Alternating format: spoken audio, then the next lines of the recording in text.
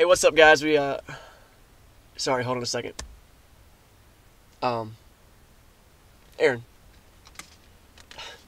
Aaron. Yeah. He's uh, doing some reading. Beautiful Brides. Yeah, uh, I got one last level two book until I'm level three, so I'm trying Wow, to trying really? to do it pretty fast. Yeah. Oh, good job, man. Sticking with it. I Thanks, dude. Yeah. Uh, but you uh, you said we could make the announcements. I was just, you got a minute to just jump into that? Um, yeah. Um, let me finish this last sentence yeah, finish quick. the last sentence. Uh,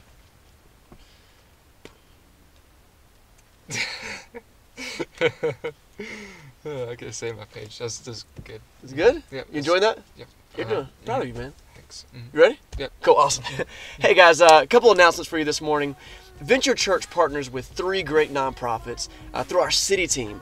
And each month we want to take an opportunity to highlight one of these nonprofits and give you the opportunity to plug in as love agents in our city. Last month we talked about Vigilant Hope, and this month we're going to be highlighting the YMCA. There's two great opportunities for you to serve the YMCA, and the first one is this.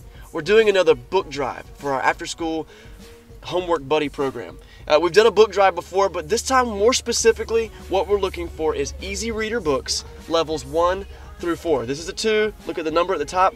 Maybe your kids grew up reading easy reader books, or you could head to the bookstore and, and pick up a few, drop them off at church any Sunday during the month of February, and that'll get us uh, get us started on continuing to build the library for the after school back. Uh, Homework Buddy program, which, which leads us right into our second opportunity. So our second opportunity is the Homework Buddy program, and the Homework Buddy program is every Monday and Tuesday from 4 to 5 p.m.